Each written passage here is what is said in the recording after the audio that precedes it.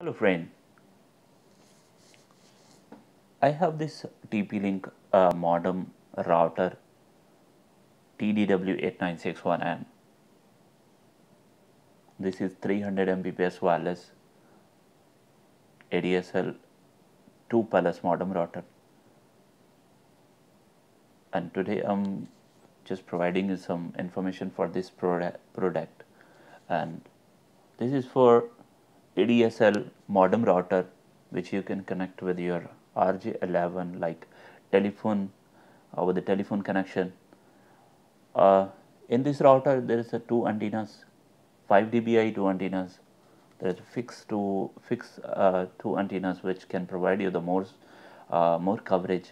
And you can connect your devices you connect your mobile phone you connect your desktop laptop TV with this ADSL modem router. So, uh, this can provide you up to 100 Mbps internet speed. If you have the 100 Mbps connection that you can use this product and which can work for your home network. So, I am just providing you the guideline. You can see back of the device there is one power on off button there is WPS and reset button Wi-Fi on off button there is four LAN cable LAN LAN LAN port that you can connect any uh, any cable uh, for your uh, desktop computer and TV or whatever you have the devices which can work with the cable.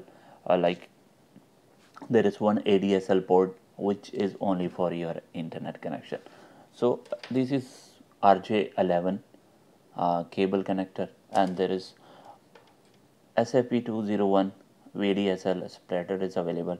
That if your connection is only the one and uh, you want to connect uh, your phone line also and internet also. So this this splitter is available inside the box that you can use it. So how it's work? First we can put on power on.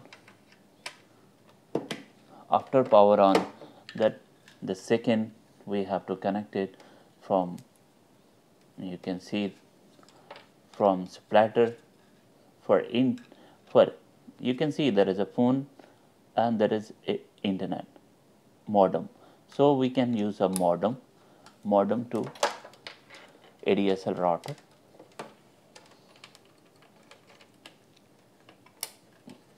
And we have to put in power on. After power on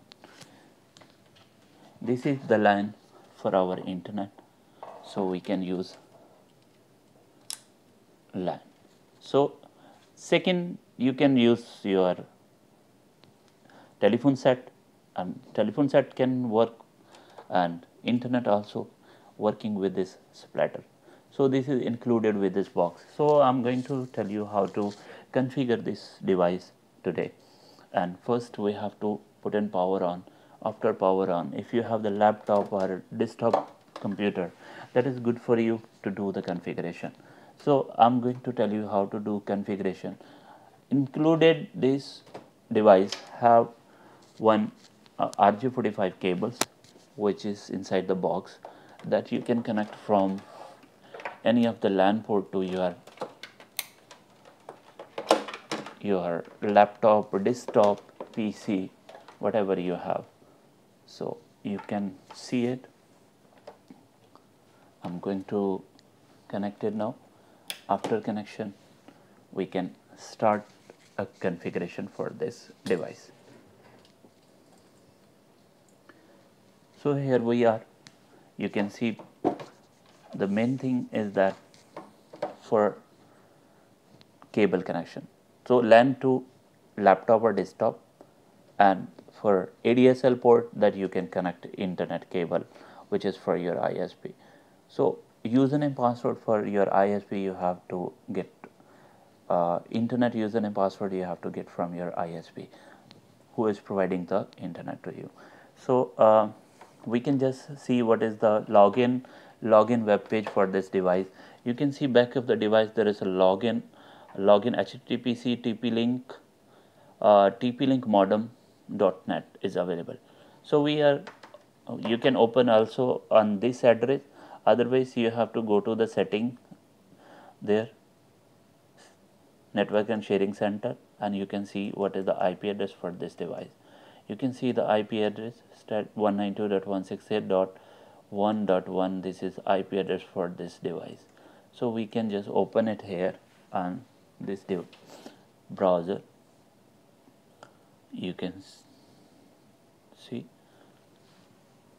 the first page will open like login page.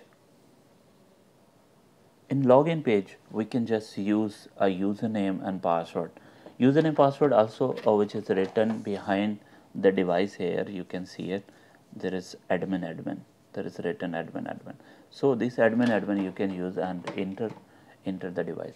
And then make sure uh, one more thing. Make sure that when you are connecting the cable for your internet ADSL you can see the light LED on this device should be the stable.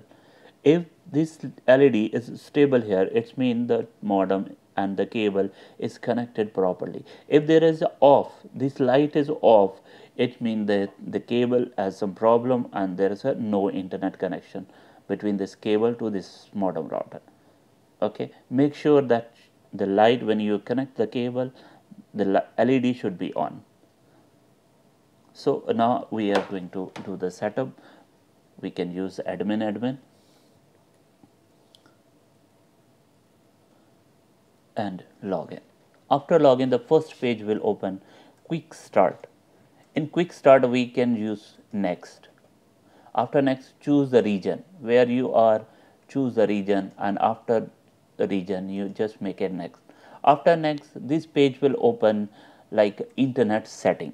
In internet setting, you have to choose the country where you're living, you can use that country, choose the country. And I'm not choosing. I'm just uh, using the username and password. And ISP don't change anything. Just keep it other. And connection type the connection type is a different like dynamic static PPPoE and if your ISP is providing on between these uh, connection type you can use in dynamic no need username and password and static need some IP setting from the ISP and the PPPoE need username and password. So we can use here username and password and log in it. After username and password then you can see there is a VPI. VPI should be 0 and VCI 50. After this setting we have to make it next. After next the second page will open for this wireless network name and password you can use if you want to change wireless network name password you can change it here so wireless network name wireless SSID where you want to connect your devices your mobile phone or any of the device either you want to keep the same uh, default default you can use also which is uh, written behind the router also. The same SSID what you see here that is available here on this device. Wireless SSID wireless SSID and password is available. If you want to keep it the same keep same if you want to change just uh, remove and retype it again. And then there is a authentication type WPA2 PSK and encryption just choose AES and then next. After next save the setting. After save the setting you can see here the internet line internet LED here will be on. And you can see here IP address also. You can see PV, PV PVC7 and VCI 0 VPI 50 and you can see the LED flashing and you can see here IP address will be available if the IP address is available it means it's connected and when the light is stable you can use internet so let's test the internet